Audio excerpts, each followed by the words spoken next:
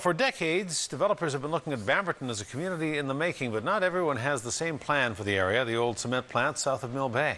Some want homes and restaurants, others want it returned to heavy industry. The various demands have sent developers back to the drawing board more than once. Now there's a plan in the works to go before a hearing tonight that some believe will be the start of something great. CTV's Joe Perkins reports. On a rainy service road, developer Ross Tennant leads the way on a tour of Bamberton. What I'll do, Kirk, before going to the waterfront site is I'm just going to turn, make a left-hand turn at the bottom of the road here. He's showing CTV News parts of the roughly 600 hectares that has been a steady target of industrial, commercial, and residential development on the island. So as you were coming south down the highway, you would have turned off the uh, Bamberton exit here. Tennant's team has a new plan for the land. It's a proposal that calls for heavy rezoning.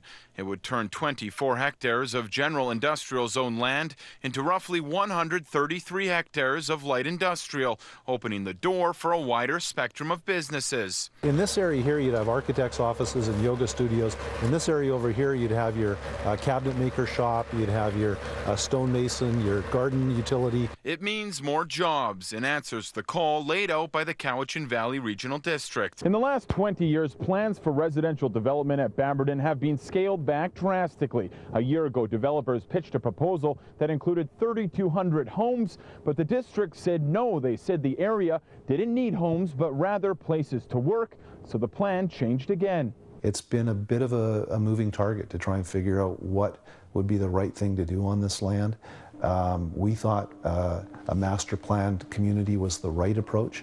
Um, that's not the option that we've been given. So developers are taking what they call baby steps, but even talk of the scaled down proposal has made its way north. There will be more options for people, so it might take away from some of the business. But she admits it could also lead to an increase in traffic. Good for business, potentially deadly elsewhere.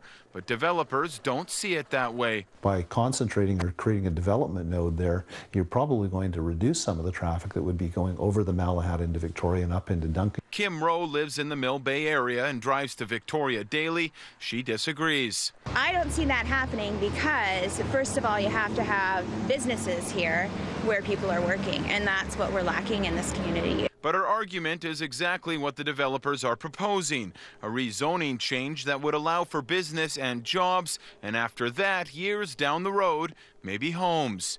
For now, though, the revised proposal will head to public hearing, the next step in creating a new Bamberton and a new town on Vancouver Island. Joe Perkins, CTV News, Bamberton.